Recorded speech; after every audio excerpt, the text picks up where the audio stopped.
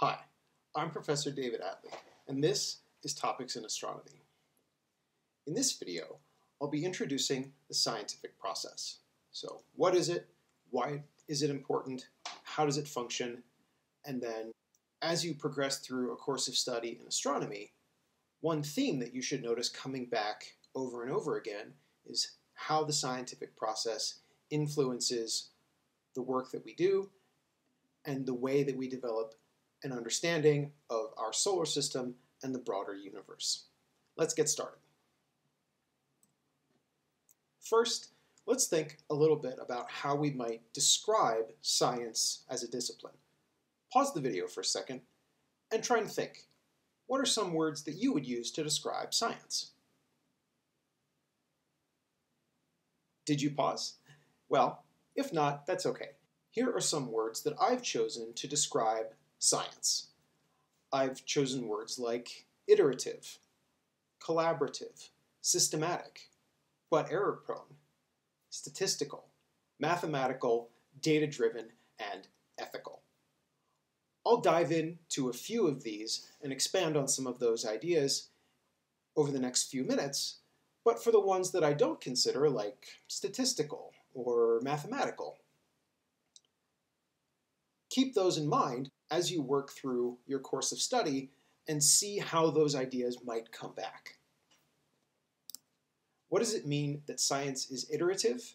I think that idea is best encapsulated in this famous quote, usually attributed to Sir Isaac Newton, and then, of course, quoted by many others since then, which is If I have seen further than others, it was by standing upon the shoulders of giants.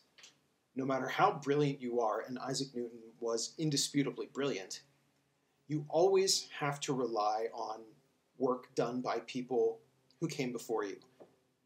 You can't develop an entire system of understanding of the world from first principles on your own. We simply don't live long enough to do that. So you have to base your work on work done by previous people. So you have to trust that other people have done their due diligence and build from there one of the things that we have to do is do that due diligence, both on our own work and then on our contemporaries.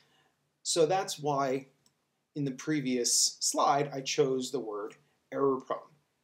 Humans make mistakes. One of the values of the scientific process is it gives us a tool to identify those mistakes and correct them systematically. What is science? If I had to define it, I would say that it is a process, and that's the most important thing. It is a process that uses systematic observation and experimentation to learn about the nature of the universe. Normally, uh, if this were any other class except for astronomy, I might say about the nature of the world. But we're interested in much bigger themes than that, so I've replaced world with the universe. And this definition encapsulates lots of different disciplines. For sure, it covers astronomy and physics and chemistry, the things that you might normally think of as the hard physical sciences. It covers things like biology, but it also captures the social sciences. Disciplines like history or anthropology or sociology, which, despite their uh, different nature, still rely on specific quantifiable information to accept or reject hypotheses. I also said that science is ethical. All sciences rely on certain standards of ethics, like don't falsify your data, use data from other people only with their permission, which we often do because science is also collaborative.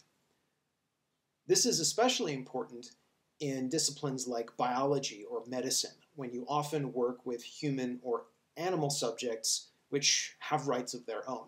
Most major universities and uh, labs will have very strict rules regarding human experimentation, and you have to go through a committee process to get permission before you can conduct a trial using human or animals. There's a famous example where this process got short circuited a few years ago by uh, He Jiankui, uh, who's a Chinese geneticist he implanted altered genomes into two twins who were then carried to term by their mother. Um, and he added a gene to their genome using a process called CRISPR to make them immune to the HIV virus. Um, but because he short circuited these safety procedures for human trials, he was roundly condemned for his violation of scientific ethics. And then subsequently, we later found out that the introduction of that gene to make these two children immune to the HIV virus probably also introduced vulnerabilities to other diseases. So that's why we have these safeguards in place and why ethics in science are so important. So let's look now at how this process actually goes. I said that science is a process, and it definitely is. And it has some steps that have been formalized over the centuries. The version that I'm about to walk through to, with you is usually attributed to the English scientist and philosopher Francis Bacon. When you learned about the scientific process in school, um, you may have learned that the first step is hypothesis, and we'll come to that in a minute. But really, the first thing that any scientist has to do in order to carry out their work is to identify a problem. And in practice, this is the hardest part about all of science. Collecting data, designing an experiment, going through and doing statistical data analysis that carefully respects the best knowledge of how to massage your data and figure out what it's telling you. All of that is tricky, but identifying important, tractable problems requires a deep knowledge of your field and also a fair amount of creativity. And I've encapsulated this with the quote, that's funny, in which someone looks at the world and sees something that he or she doesn't understand and goes, that's funny, I wonder why that happens. So, for example, a few thousand years ago, we might look out into the world and say, things fall to the ground. Why do things fall to the ground? That's our problem.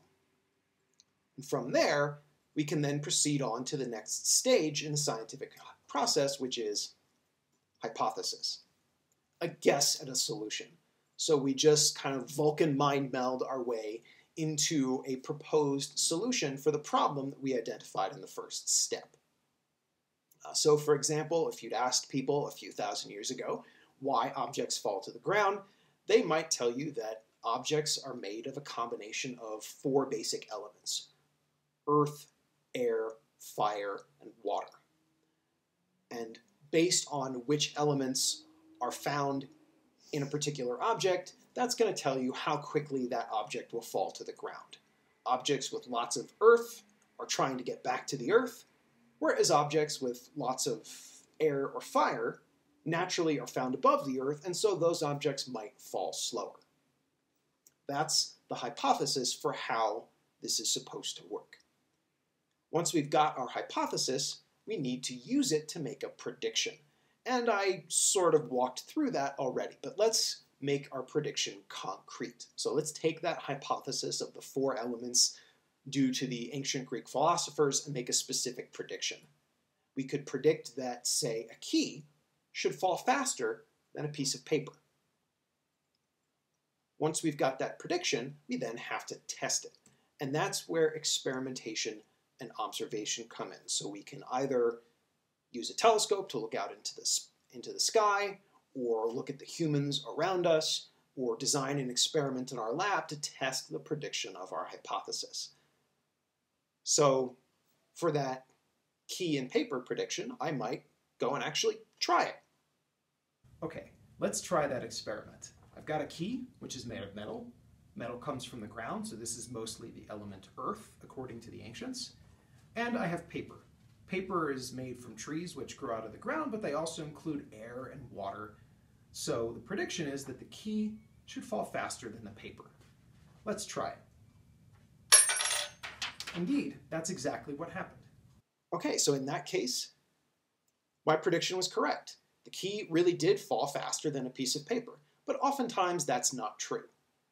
So, generally speaking, we're going to have to repeat. We're going to find that our prediction was incorrect, and we'll have to go back and modify our hypothesis to take into account new data, go through the whole thing again. And again, and again, and again.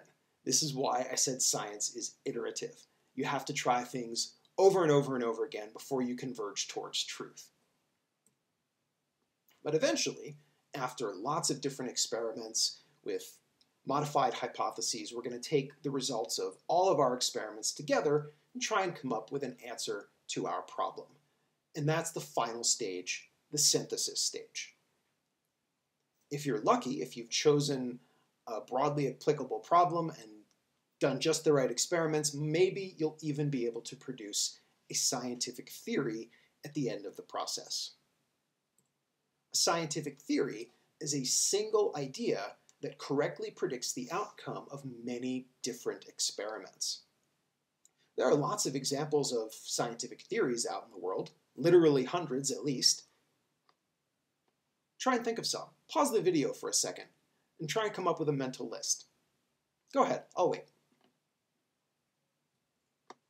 Was in your list? Here's a brief list that I've come up with. It includes ideas like Newton's theory of gravity, or the special and general theories of relativity, or the Big Bang theory. All of these are relevant to astronomy. They're not the only ones. There's some a few more on the slide and many, many others.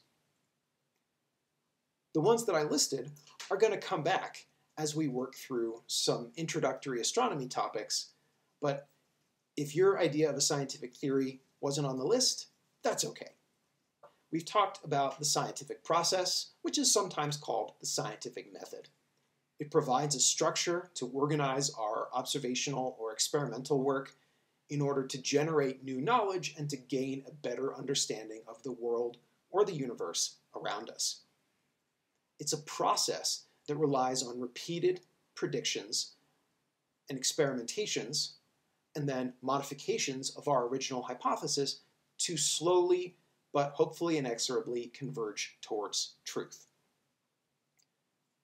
At the end of this process, sometimes we generate scientific theories, which are single ideas that correctly predict the outcomes of many experiments, and these are superior in many ways to a scientific fact. A fact is something I can measure in a laboratory, like it takes half a second for a key to drop one meter. That's a fact. I can measure that. The reason that happens is because of how gravity behaves. So Newton's theory of gravity predicts that outcome along with many, many others, including how a football flies down a football field and how a spacecraft moves through the solar system. So the theory is in that sense, superior to the facts. It sits above them and explains the facts as I can observe them. So there's nothing that a scientific theory could ever do to become a scientific fact. This is an important distinction, and if you take nothing else away from this series of videos, I want you to remember that, is that a scientific theory is not merely a theory, it is a theory, and that's great. Thanks for watching, and I'll see you in the next video.